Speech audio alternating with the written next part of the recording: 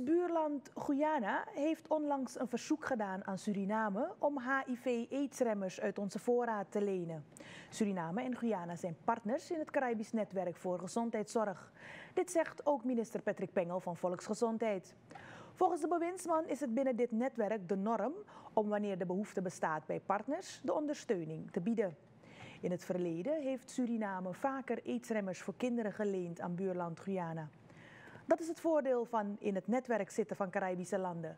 Je ondersteunt elkaar bij gemeenschappelijke uitdagingen, zegt Pengel.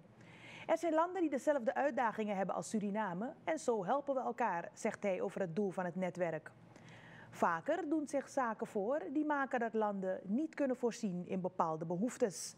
Bij deze zaken komt het nut van het netwerk het beste tot uiting. Ter illustratie vertelt minister Pengel dat Suriname vaker medicamenten heeft geleend aan het welvarende Trinidad.